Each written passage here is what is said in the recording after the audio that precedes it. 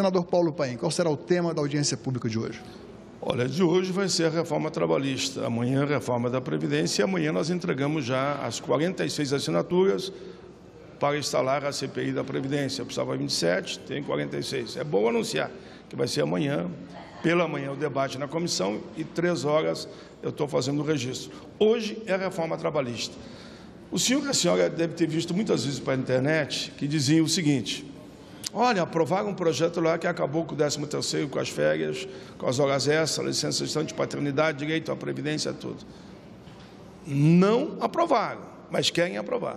Este é a proposta da reforma trabalhista. Eles rasgam a CLT, querem passar o trabalho intermitente, que é só o salário por hora, se passarem. Você vai receber um salário por hora trabalhar. Trabalhou duas horas, recebe duas horas. Se uma semana ele lhe chama, ele trabalhou, você trabalhou dez horas, recebe dez horas e acabou. Como é que fica a tua previdência? Como é que fica o fundo de garantia? Como é que fica as férias? Como é que fica, fica a carga horária?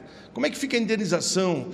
Tudo desaparece, porque eles querem que prevaleça também o tal de negociado sobre a lei. É como se não valesse lei nenhuma mais para o trabalhador. Vale só a negociação. E numa negociação, que é mais forte? É quem tem a caneta na mão.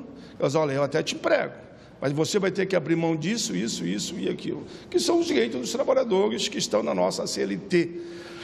Então é isso que está em debate. São duas reformas cruéis, tanto a da Previdência como também aquela que trata do direito dos trabalhadores. Nós temos obrigação, tem que ser uma, de honra, uma questão de honra do povo brasileiro se mobilizar em cada cidade, em cada região, no local de trabalho, no lugar de estudo. Eu tive, por exemplo, essa semana na universidade lá de Santo Ângelo, lotada, gente de pé, todos, todos dizendo não, não às duas reformas. Tive em Juí, inclusive com a participação do vice-líder do governo, até que ele não pode falar, mas eu não posso fazer nada também, né? Não pode falar porque ele era 100% contra as duas reformas, era um debate que não houve o debate que ele falou e teve que sair, porque não aguentou a pressão, e eu falei no segundo momento. Estou dando um exemplo só.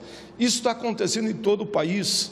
Se eu tivesse tempo, oxalá o dia tivesse 48 horas, eu estaria viajando de tantos convites que tem, porque há uma unanimidade no país. É impossível que esse governo Temer não perceba isso e não retire essas reformas.